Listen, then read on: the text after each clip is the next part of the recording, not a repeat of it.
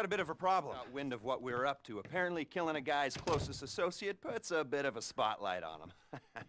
anyway, now I'm told they put a price on the professor's head, so we gotta move. Now, is that clear? Can we get going? All right? And remember, the professor's paying you, not me. Not me at all.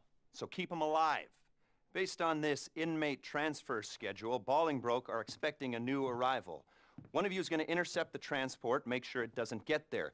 Two of you are going to be taking our prison bus and making your way into the facility in its place. You'll be playing inmate and guard. Stay in character as long as it's useful, then make your way to the rooftops. I'll get on the radio and give you a path to the prof. Meanwhile, the pilot will have picked up the plane and be waiting on the evac in the air.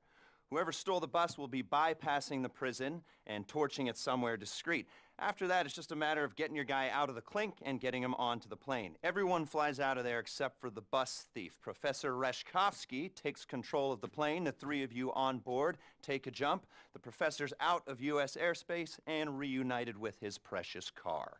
Simple. Should be the easiest money you'll ever make. Speak soon.